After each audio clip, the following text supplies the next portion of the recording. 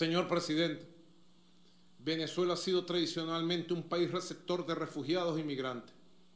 Sin embargo, como consecuencia directa de las criminales medidas coercitivas unilaterales y de las agresiones económicas impuestas por el gobierno de Estados Unidos a nuestro pueblo, se ha producido coyunturalmente un proceso de migración de ciudadanos fundamentalmente por razones económicas.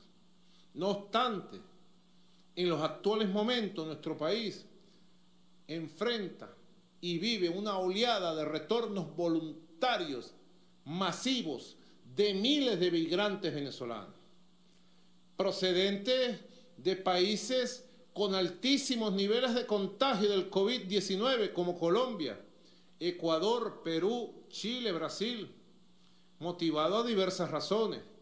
La más importante, el fracaso en la gestión del COVID-19 en esos países.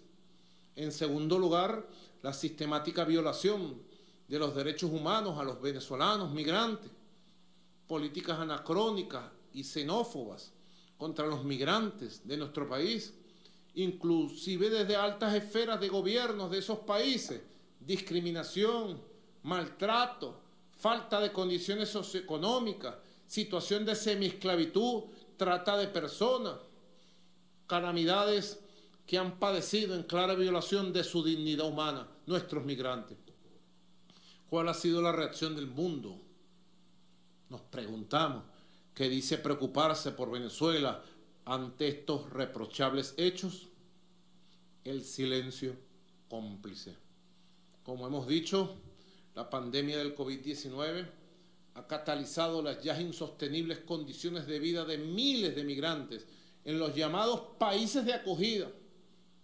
Y nos preguntamos nuevamente, ¿cómo es posible, a pesar de las enormes cantidades de dólares que se le han otorgado a estos gobiernos mediante extravagantes conferencias de captación de donantes para los migrantes venezolanos, ¿qué hicieron con ese dinero?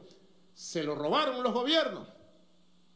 Creemos que hay que revisar ciertamente con rigurosidad institucional y científica el rol que ha venido jugando algunas agencias de Naciones Unidas o algunos personeros de algunas agencias en estos procesos como ACNUR y como la Organización Internacional de Migración.